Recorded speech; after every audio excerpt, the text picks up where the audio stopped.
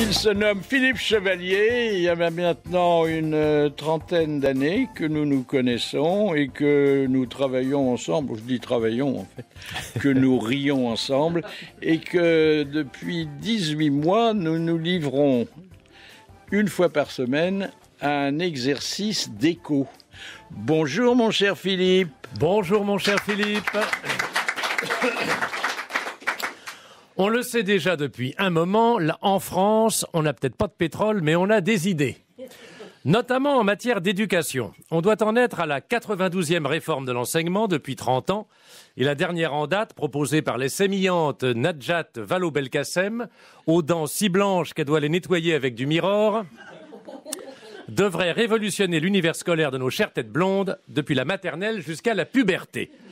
La réforme de l'enseignement. Comme dirait mon beau-frère qui a fait du grec dans une vie antérieure, Kesako quid, de quoi qu'il s'agit-il? Oh, c'est très simple. Rien de moins que de substituer à l'ancienne et ringarde acquisition des connaissances un savoir global qui offrira aux moutards, qui entre parenthèses n'a rien demandé à personne, la possibilité de donner, je cite, un sens à son savoir en sollicitant ses capacités cognitives liées à la maturation à travers des expériences sensorielles et des implications corporelles. C'est pas fini. Le tout, continue la circulaire informative présentée comme une publicité pour un produit financier à caractère évolutif, dans le but d'insérer l'enfant dans une communauté d'apprentissage pour la construction d'une citoyenneté respectueuse de la pluralité des cultures, afin de le confronter aux enjeux du monde actuel. Et voilà, fermez le banc, en avant les castagnettes. Inutile de vous dire qu'on n'est pas prêt de réentendre ces scènes de la vie quotidienne et familiale qui ont bercé notre jeunesse. Alors, ça s'est bien passé à l'école aujourd'hui? T'as eu combien en calcul et en grammaire? Ta maîtresse, elle est gentille? Non, bientôt ce sera.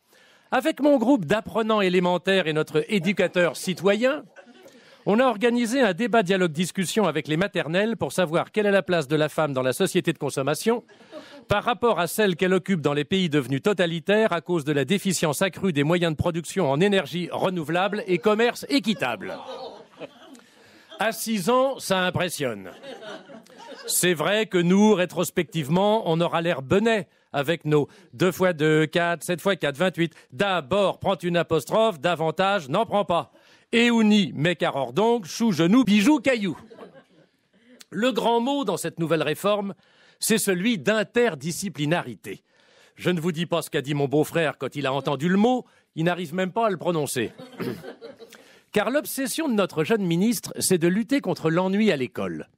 Avant, les élèves avaient une journée de plein air par semaine pour se défouler un peu dans le stade du coin et des cours de travaux manuels pour exercer leurs petits doigts gourds à la fabrication d'un pantin articulé. Ajoutez à ça une heure de flutio interrompue en permanence par des lancers de craie et de papier buvard, la rigolade était quand même au rendez-vous avant de reprendre la traduction des bucoliques. Aujourd'hui, le potache devra se transformer en jeune citoyen du monde éco-responsable. Les thématiques environnementales remplaceront les équations à résoudre et les poèmes de La Fontaine seront oubliés au profit de la dernière escapade de Nicolas Hulot à dos de chameau dans les Galapagos. Sont prévues également, dès la sixième, des options drôlement sympatoches où l'initiation à la connaissance de la symbolique du masque africain devra faire bon ménage avec l'apprentissage des chansons patoisantes d'Ille-et-Vilaine, comme par exemple Où c'est donc t'as mis ton bounette, ma fille? Où c'est donc t'as mis ton bounette La danse balinaise, le cri primal et le tambourin auront aussi leur place dans ce concert multicolore de disciplines nouvelles, tant il est vrai qu'un esprit saint doit habiter dans un corps sain. Ça, c'est un auteur latin qui l'a dit, mais bientôt, qui s'en souviendra?